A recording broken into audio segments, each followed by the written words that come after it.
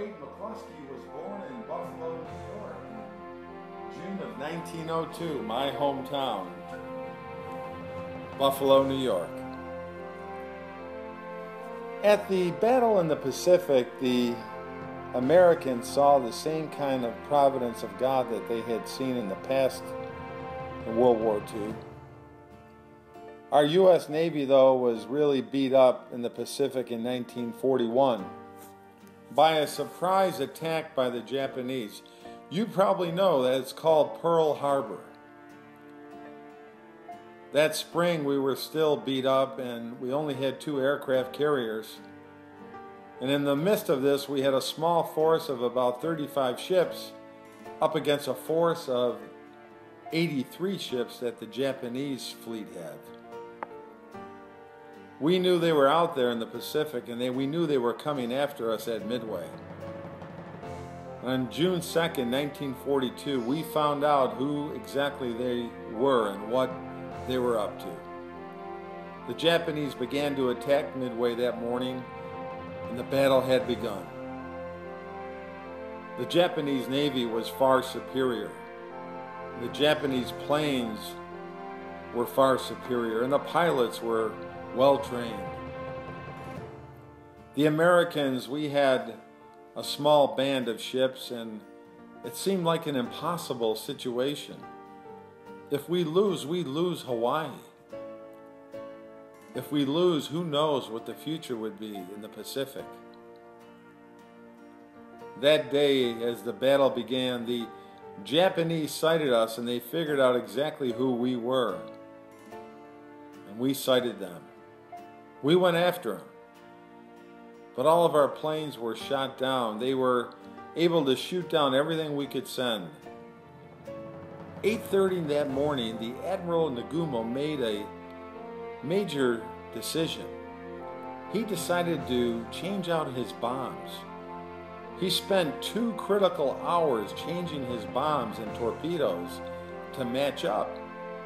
See, he wanted his land based firepower.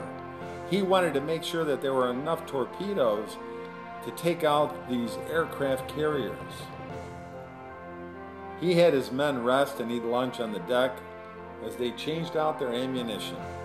But these two hours of delay were critical, and it was a major mistake. At that same time, Wade McClusky and his squadron of 29 dive bombers were desperately searching the ocean for the Japanese. And they couldn't find the Japanese fleet. They were running out of gas, so they could go left or go right. Going left, they would go back for gas. Going right would take them to their death in the Pacific Ocean. The other group of planes he was with had turned left and they went back for gas, understandably. But Wade McClusky turned right. And just a few minutes later, he saw a Japanese destroyer turning northeast at a sharp turn. He decided that this must mean that they were going back to their fleet. He followed that destroyer behind the clouds and 20 minutes later he came across 83 ships of the Japanese Navy. God parted the clouds below him so he could see.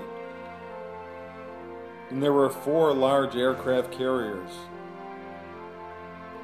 Well, McClusky radioed back, and 29 dive bombers now had taken out two of the major carriers, and they sent word for the destruction of the other two.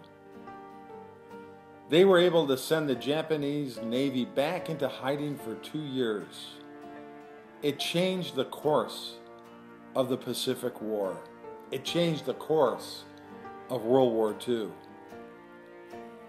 Not just because of his great bravery, although we can never forget the bravery of Wade McClusky, but because of the divine providence of God.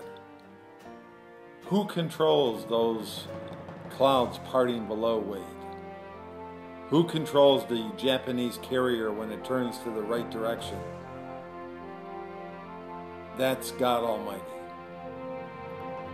One of the three men that survived the attack on those Japanese carriers Wade McClusky came back with 51 bullets in his plane. He came back and landed. And he spent the rest of his life telling the story of the miracle of Midway. You see, folks, Almighty God Himself controls the battles. He controls the weather. He controls the clouds. He controls the future, and He will take out His enemies whenever He chooses. Nothing can stop Him. He's a graceful God, and He does not destroy all of us because He has a plan for us if we will only turn back to Him. Praise God for His unending grace.